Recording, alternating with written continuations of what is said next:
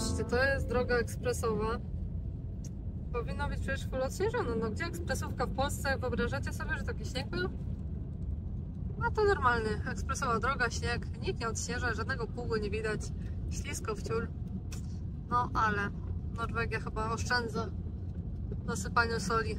Hello w nowym roku, wczoraj odśnieżałam auto nie wiem co z tego odśnieżania zostało, bo padało praktycznie cały dzień po moim odśnieżaniu jeszcze. Idziemy sprawdzić. Miałam, nie wiem, z 15-20 cm, jak nie więcej na nim, a teraz tylko z jakieś 5, więc luzik. Mm, Jak wiecie, w Norwegii teraz panuje mroźna zima, minus 20, minus 34 chyba maksymalnie w Oslo było. Na szczęście u mnie tylko ponad minus 23, 4 i problemy z elektrykami, nawet mój już zaczął szaleć, jakieś ikonki mi się palą, że coś się dzieje. Rano jedę do auta i mi się pali, jakby się ładował, się nie ładował. Jeszcze 80 km zasięgu, a pokazuje mi się taki żółwik, który oznacza, że zaraz samochód mi padnie. Pełno TikToków na necie z odśnieżania, jak zasypana jest Norwegia, to jest masakra, macie tu przykładowe. Całe szczęście, że my nie mieszkamy tam bliżej Kristiansand tylko właśnie okolica Oslo, bo tu nie spadło aż tak dużo śniegu jak tam. I tak mamy na pewno ponad pół metra, ale nie półtora.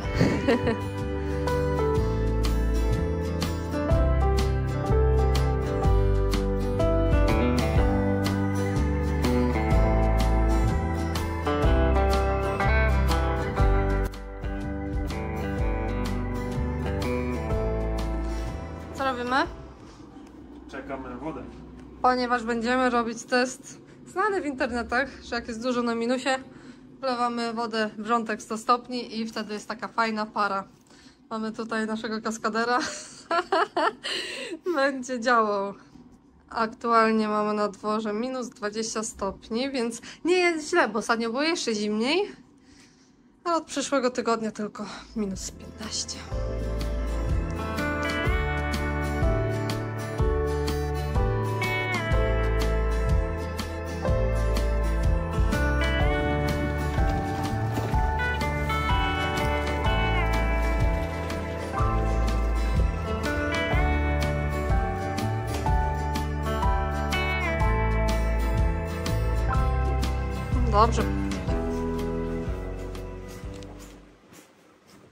teraz zobaczyć jak jest na zewnątrz, jak to wyjdzie, cały się stresuje. Nie wiem czy będzie.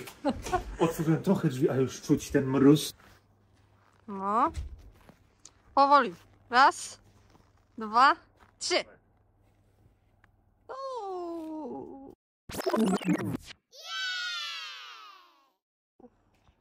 Uuu. To było amazing. Stałem palkę w głowę, takie dziwne, dziwne uczucie. Była gorąca jeszcze, czy już nie? No, O, nie wypaliło ci tam kropelki? Pokaż. no co? Nie.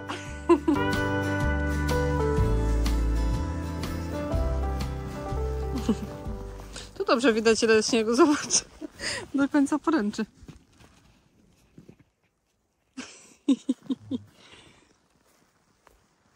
Do połowy chatki. Masakra. Wiecie co? Jestem przed robotą, jest rano. I właśnie tak patrzę przez okno i tam łoś leży na środku e, takim ogródku dla wszystkich mieszkańców z drzewkami. Masakra. Tak jakby patrzę, mówię, co to tam leży? I wziąłem, wziąłem dwie marchewki, żeby mu rzucić, bo to przecież dzikie zwierzę. No nie, ucieknie chyba. Pysiu, jedz tą marcheweczkę, ona jest dla ciebie. Nawet to masz dwie.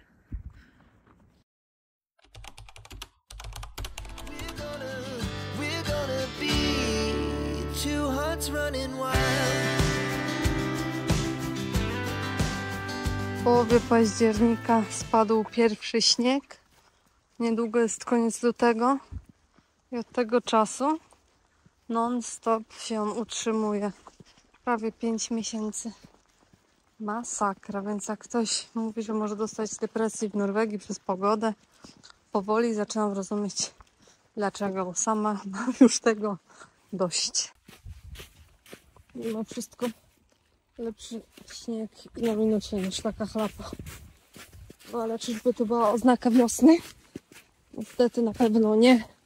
Sprawdzając pogodę długoterminową, zaraz znowu będzie na minusie, to zamarznie i spadnie nowy śnieg. O, niestety śnieg się rozpuścił przez deszcz i teraz jest ogromna chlapa. O, patrzcie jaka super miejscówka tam. Boczkiem objeżdżają. Może trochę pomaga. Też tak pojedziemy, żeby tam Nissanem nie utonęło w tej kałuży. I zawsze tu jest to samo.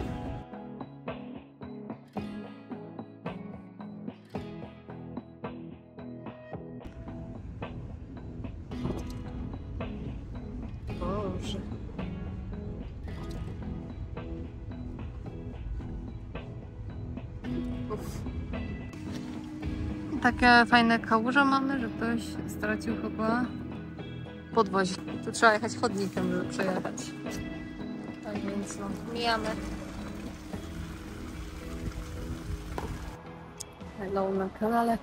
Mam dzisiaj nic nie nagrywać, ale jest tak piękna pogoda, że aż muszę się pochwalić, że chyba do Norwegii przyszła wiosna. Teraz mamy plus chyba 4, słońce świeci, ale niestety w nocy jest na minusie, dzień na plusie, dodatkowo jeszcze właśnie deszcz, śnieg, więc pokażę Wam, jak wygląda nawierzchnia. I to jest co roku w Norwegii. Jest właśnie w zimę śnieg i ciągle roztopy, zamarzanie, roztopy, zamarzanie. Tak więc wszystkie kamienie, które sypią, bo w Norwegii za bardzo solą się nie sypie, tylko e, drobnymi kamieniami ze względu na to, że wszędzie macie tu skały, więc no tanio to pozyskują, mają tego naprawdę pod dostatkiem, a sypią kamieniami. Ale przez to, że e, w dzień na przykład jest na plusie, to te kamienie zapadają się w wodę, wodę, w te kałuże, w te roztopy. Później w nocy jest na minusie. Jak idziecie rano, no to te kamienie wszystkie są pod spodem zamarznięte, że ślizgacie się normalnie po lodzie. Żaden kamień Was nie zatrzyma. I taka sytuacja jest właśnie też teraz. O, jak widzicie, kamienie są pod wodą. To jest też zamarznięte, mimo że jest na plusie. No to zanim to odtaja, to troszkę minie. To wszystko tutaj to jest zamarznięta woda. Jesteśmy w okolicy Sandvika i może widzicie, tam jest na przykład choinka. Właśnie rozstaw... e, rozstawiają choinki, żeby wyznaczyć trasę, gdzie jest bezpiecznie. Teraz kilka dni jest już na plusie, więc troszkę ryzyko według mnie chodzić po takiej wodzie, ale jak był miesiąc, minus 15, non-stop, to ta warstwa lodu na pewno i tak jest dalej taka gruba, że musi być bezpiecznie. A tymczasem odebrałam paczkę z Too Good To Go. Nigdy nie odbierałam z tego miejsca i sobie tak pomyślałam, kurczę, zobaczę coś nowego. Zobaczymy, co tam wpadnie. A, a teraz jeszcze wam pokażę, jaki piękny widok. Ojej, no ale to jest cudownie, ja to nigdy w nie byłam z tej strony. Naprawdę? O, o, tam ktoś na nartach i piesek go ciągnie, muszę wam pokazać, ale super. Oj, są choinki bardziej widoczne. No, jak widzicie, tutaj już widać delikatnie wodę, ale mimo wszystko lód nadal musi być dość gruby. O, i tak właśnie ta nasza Norwegia się prezentuje. No nic, idę odebrać jedzonko i zobaczymy, co nam dadzą.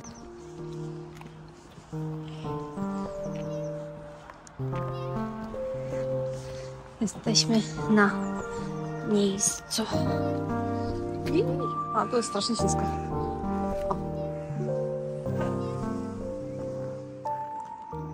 Widzicie, są lód, a kamyczki pod spodem. Ciśniemy do tej kawiarni po nasz towar. Wchodzimy i idziemy po naszą paczkę.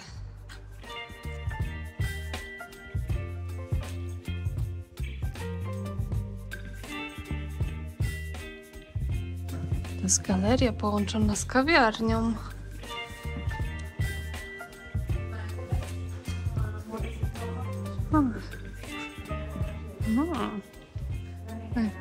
Jest ekskluzywnie.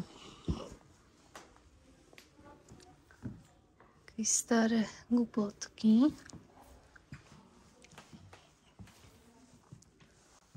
O, haki, bo to Obok jest wszystko związane oczywiście e, z fiordem. Obok jest marina. E, szkoła mariny, więc nie wiem, czy tam robią łódki, czy co. Kawiarnia. Kafe, czyli tutaj. Od razu muszę powiedzieć, że obsługa milusia, uśmiechnięta od ucha do ucha. Uwielbiam to. I co? Idziemy do domku. Jeszcze może na zakupy skoczę jakieś warzywne do warzywniaka. I tyle. Let's go. Nasze paczki są i się w nich sporo dzieje. Później oczywiście zobaczymy, co tam dalej. Powiem wam tak, wejść tu to było pół biedy, nawet jeśli właśnie było wyślizgane. Ale zejść jeszcze z tobołami to jest ryzykowne już. To była taka pani, co miała lepsze buty niż ja, jeszcze z tymi z kolcami. A ja no nie spodziewałam się, że to jest dokładnie tutaj i że tu będą takie warunki. No ale trzymajcie kciuki, raczej się uda. A jak nie, to trudno. Najwyżej trochę się poobijam. Chowam telefon, żeby mi nie wpadł do wody, bo już widzę, tu się ześlizgnie, tu, tu, tu. I akurat tam, gdzie była roztopiona woda, tam wpadnie mi telefon. Nawet jeśli to jest 20 metrów. Nie jest źle. Idę po bezpiecznym śniegu. O, więc damy radę, bo to troszeczkę z górki. Ale powinno być gites. O! Dużo nie brakowało. O, tak by poleciał mój telefon właśnie. Tutaj nie ma nawet co wchodzić. Idziemy boczkiem. Dało się bez upadku. Już widzę mojego Nissanka i lecimy dalej. Jestem właśnie na Kadet Tangen. To jest skocznia. Nie wiem ile ma ta najwyższa, ale w lato skaczę normalnie do fiordu z niej. Hardcore. No i patrzcie, ludzi sporo. Zwłaszcza tam idą. I to wszystko już jest po wodzie zamarzniętej. Więc idziemy kawałek też się przejść. Jak widać tu i tutaj już trochę rozmarznięte, ale będziemy szli głównym szlakiem, po którym przeszło tyle osób, że no chyba ja też dam radę. I co? I cisnę hardcore po zamarzniętej wodzie. Za mną skocznia na Kadytangen, Sandwika. Lato naprawdę całkiem spoko miejsce tutaj, żeby przyjść. Zwłaszcza, że macie też sklepik, normalnie są toalety, fajna plaża, miejsca, żeby usiąść. Też nie brakuje. Mam zimę, też spoko. Ktoś idzie z pieskiem. Kocham pieski. O proszę. To jest właśnie fajny Norweg. Nawet starsze pokolenie. Weźmy sobie kijki i wyjdzie właśnie pochodzić, pokorzystać z pięknej pogody, trochę ruchu. Są te choinki, o których wspominam. Jak widzicie, idą przy trasie. Tam jest kolejna. Tam też.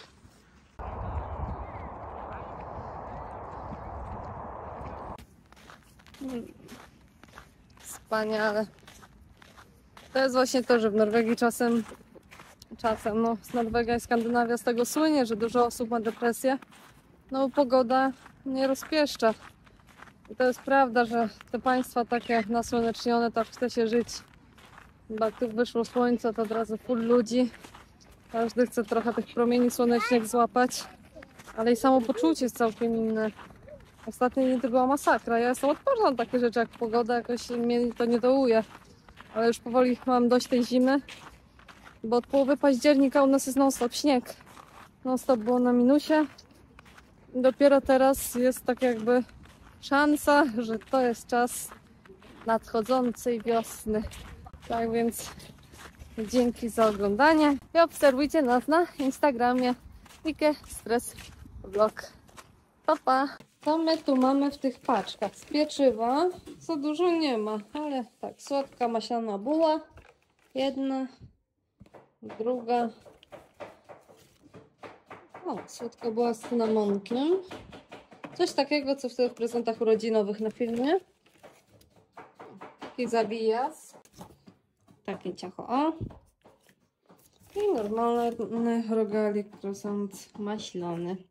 Tak się prezentuje właśnie paczka z pieczywem, a tu jest taka z innymi produktami i mamy tutaj zupa ze, ziemnia- ze słodkiego ziemniaczka. Jak to wygląda? No wygląda tak, a, a pachnie? Pachnie jak słodki ziemniak z jakimś takim imbirem może? Nie wiem, pycha. Lubię sobie ziemniaka. Kolejna. To samo. Dwa. Trzy porcje z zupą. Do tego bardzo ładnie wyglądające sałateczki. Sałateczka taka. I kanapeczki z taką sałateczką. Mm, spoko. A ta paczka chyba kosztowała 90 koron, więc trzy zupy, sałatka i takie kanapeczki trzy. No, a tak ładnie wygląda, że nie żałuję ani, ani korony. No.